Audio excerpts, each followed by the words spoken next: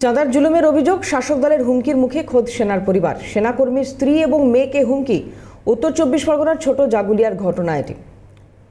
যে সেনাকর্মী অত- অতন্দ্র প্রহরী হয়ে দেশবাসীকে নিরাপত্তা দিচ্ছে, সেই সেনাকর্মী পরিবারই এবার হুমকির মুখে।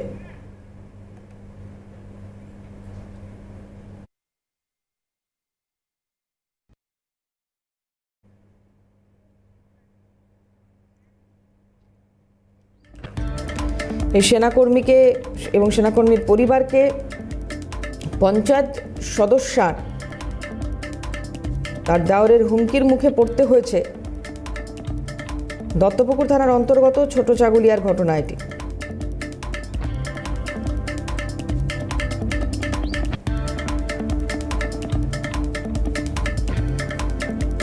জম্মু কাশ্মীরের বারামুলা এই মুহূর্তে কর্মরত ওই সেনা জওয়ান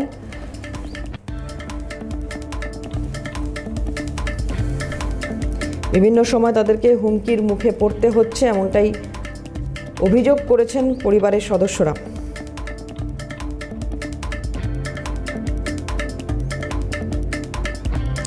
পরিবারের তরফ থেকে কি প্রতিক্রিয়া আসছে শোনাবো আপনাদের? আমার এবার পুজোতে এসে বলেছিল ছ হাজার টাকা দিতে হবে। এবার আমি বলেছি, আমি পারব না। আমি পাঁচশো টাকার বেশি না এখানে দিতেই হবে। আমি আমি পারব না পাঁচশো টাকার বেশি। এখান থেকে যেরকম না এর থেকে একটু বেশি দিচ্ছি আমি। তাও শোনেনি। এবার চলে গেছে, যাই হোক পাঁচশো টাকা নিয়ে গেছে।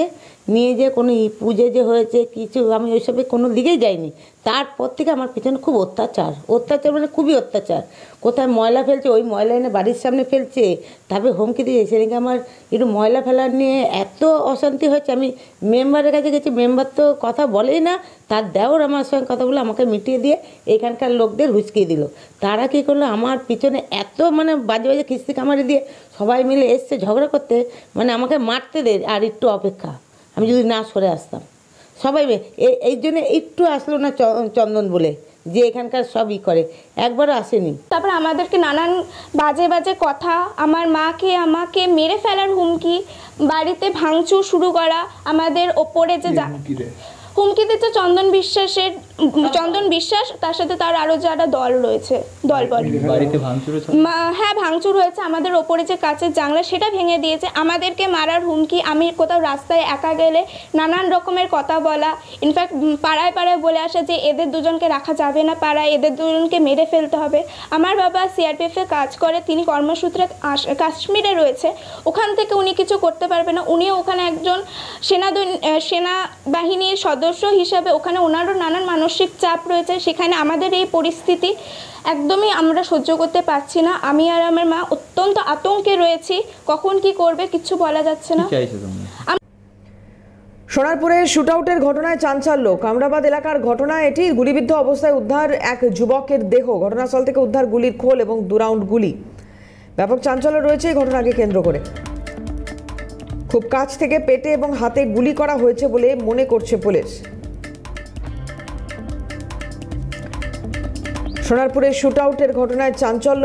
কামরাবাদ এলাকায় এই ঘটনা ঘটে। গুলিবিদ্ধ অবস্থায় এক যুবকের দেহ উদ্ধার। ঘটনাস্থল থেকে গুলির খোল এবং দু রাউন্ড গুলি উদ্ধার হয়েছে। ঘটনায় ব্যাপক আতঙ্ক রয়েছে এলাকায়। খুব কাছ থেকে পেটে এবং হাতে গুলি করা হয়েছে বলে মনে করছে পুলিশ।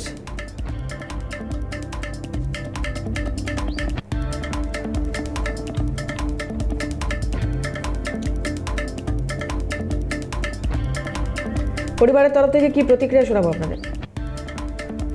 বাড়িতে থাকতো, এইভাবে থাকতো না। আসলে আমার সঙ্গে আমার ভাই সবসময় থাকতো বিশ্ব। ওর বন্ধু এরা আমি কোনোদিন ফিরতে রাত হলে বা না ফেরার সম্ভাবনা থাকলে বলে দিতাম যে, আজ আমার ফিরতে বেশি রাত হবে বা আসতে পারব না। তখন ওরা সবাই একসঙ্গে থাকতো, একা থাকবে সেই জন্য একসঙ্গে থাকতো। মানে খুব রেয়ারলি ওরা থাকতো।